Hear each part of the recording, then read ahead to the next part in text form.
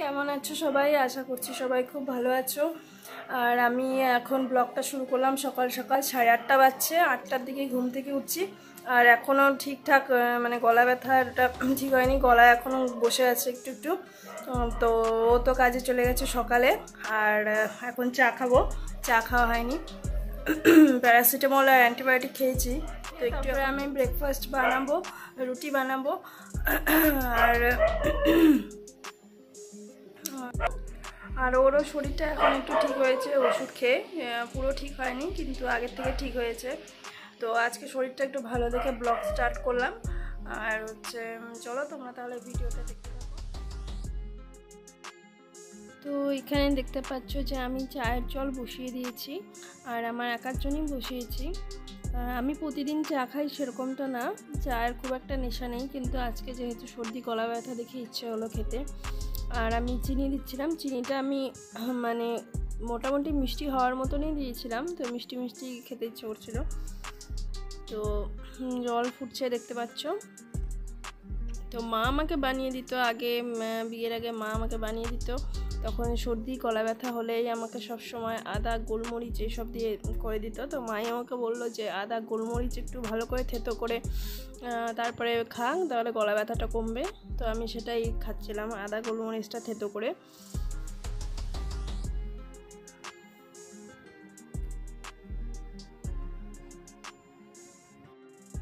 এখানে দেখো চায়ের জলটা মোটামুটি ফুটে যাচ্ছে। তো গলা ব্যথা হলে তোমরাও এভাবে খেতে পারো। এটা অনেকটা মানে খুসখুস যদি গলায় খুসখুস কাশি থাকে তো অনেকটা কম হয়, রিল্যাক্স পাওয়া যায়। তো এখানে দেখো চা আমার প্রায় রেডি হয়ে গেছে।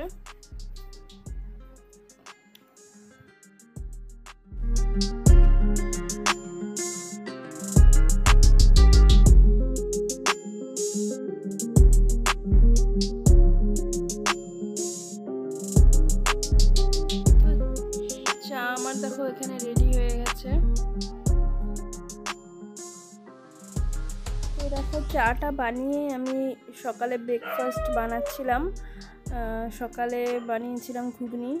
তো সেটার জন্যই আমি কড়াইটা গরম করছিলাম। তারপরে বানাচ্ছিলাম। আর ওইদিকে দেখো চাটা রাখা আছে। মানে চাটা বানিয়ে আমি বসেও খেতে পারছিলাম না কেন?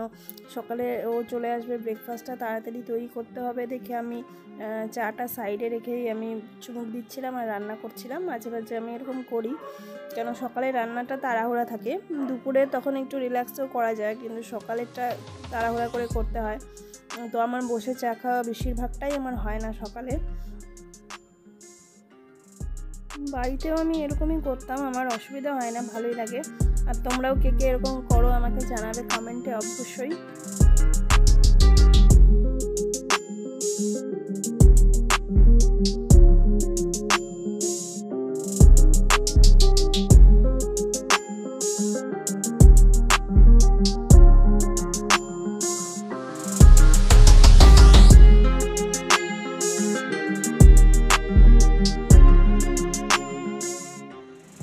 তোমার শরীর কেমন? দেখো, ওই যে কাজ থেকে আসলো এখনই ব্রেকফাস্ট করার জন্য। আর ওরও শরীর ভালো না, কাশি, তারপরে শরীরে ব্যথা, এখনই আসলো। আর গরম তো খুব পড়ছে, বাপ রে বাবা। ওয়েদার ওয়েদারে এই যে গরমের মধ্যে হঠাৎ করে ঠান্ডা লাগছে সেই জন্য জ্বর গায়ে ব্যথা আর কোল্ড ড্রিঙ্কস খাও কোল্ড ড্রিঙ্কস খাও। একটু কোল্ড ড্রিঙ্কস খাওয়া হচ্ছে ওর কথা না শুনে একটু কোল্ড ড্রিঙ্কস খাওয়ার জন্য হতে পারে। গলা পুরো ব্যথা এখন দেখি কফ বেরোচ্ছে কফ যখন বেরোচ্ছে প্রচণ্ড হাই ফিল হচ্ছে। শরীরটা ভালো লাগছে না শরীরটা। তো কী করব? কাজে তো যেতেই হবে। একদিন তো তাও মোটামুটি যেতে পারিনি কাজে যেতেই হবে। তো আসলাম কাজ থেকে, এই যে অনু এখন ব্রেকফাস্ট করছে ব্রেকফাস্ট করব, আবার চলে যাব। তারপরে ভিডিওটা শেয়ার তোমাদের সাথে মানে কন্টিনিউ ভিডিওটা অনু করবে এবং বাড়িতে যেহেতু আছে। তো চলো, আমি ব্রেকফাস্ট করছি, তোমরা পারলে দেখো।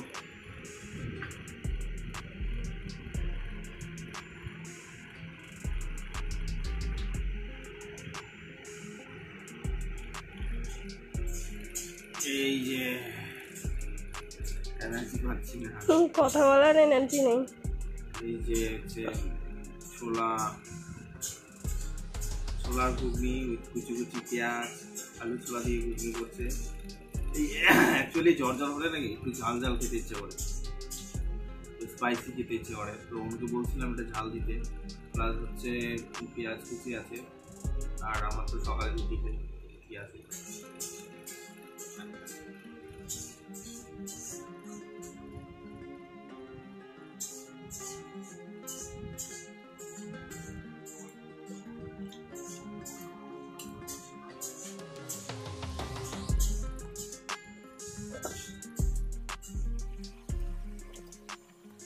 এখানে দেখো ব্রেকফাস্ট হয়ে যাওয়ার পরে আমি ড্রেসিং টেবিলটা পরিষ্কার করতে আসলাম। ধুলো হয়ে গেছিল। জানি না কোথার থেকে এত ধুলো হয়, হয়ে যায়। দরজা জানলা তো বন্ধ থাকে, প্রচণ্ড ধুলো হয়ে যায়। তো ওটাই পরিষ্কার করতে আসলাম। তো সব জিনিসগুলোকে আমি নামিয়ে নিয়েছি, নামিয়ে নিয়ে তারপরে ভালো করে ধুলোগুলোকে ঝেড়ে পরিষ্কার করে তারপরে হচ্ছে আবার জিনিসগুলোকে আমি রেখে দিলাম। তো ওখানে একটা ওর রুদ্রাক্ষের মালা ছিল অরিজিনাল না, যেটা পাওয়া যায় এমনি মার্কেটে তো ওটা বেরোচ্ছিল না, তো ওটা আমি বের করলাম অনেক কষ্টে, ভয় লাগছিল যদি ছিঁড়ে যায়। তো তারপরে ভালো করে মুছে টুছে জিনিস টিনিস আমি রেখে দিলাম। আর তারপরে এইসব কাজ করেই আমি স্নান টান করি।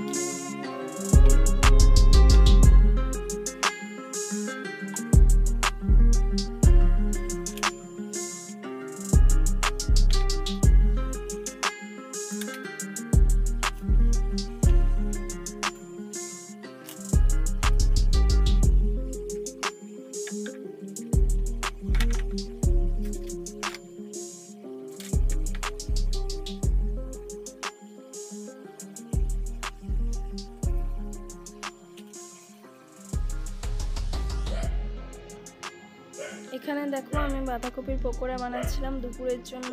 বাঁধাকপি আর পেঁয়াজ, কাঁচা লঙ্কা, চালের গুঁড়ো দিয়ে, বেসন দিয়ে আমি পকোড়া বানাচ্ছিলাম।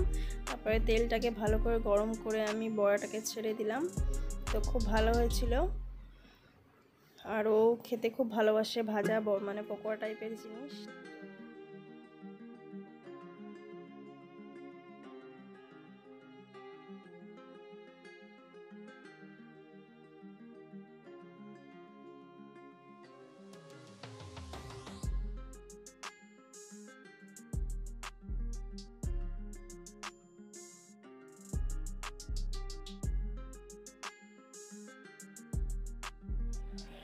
তো ভিডিওটা এই পর্যন্তই। বেশি ভিডিওটা আর লং করবে না অনু বলছে মানে ভিডিওটা এই পর্যন্তই।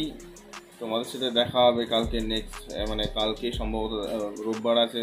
কালকে একটা ভালো ব্লগ নিয়ে আসতে পারি। আর শরীর যেহেতু খুব একটা ভালো না, তাই বেশি দূরে যেতেও পারব না। যদি আশেপাশে যাই, কালকে একটা নতুন ব্লগ নিয়ে তোমাদের সাথে দেখা হবে। তো ততক্ষণের জন্য টাটা, আর সবাই সুস্থ থাকবে, ভালো থাকবে। বাই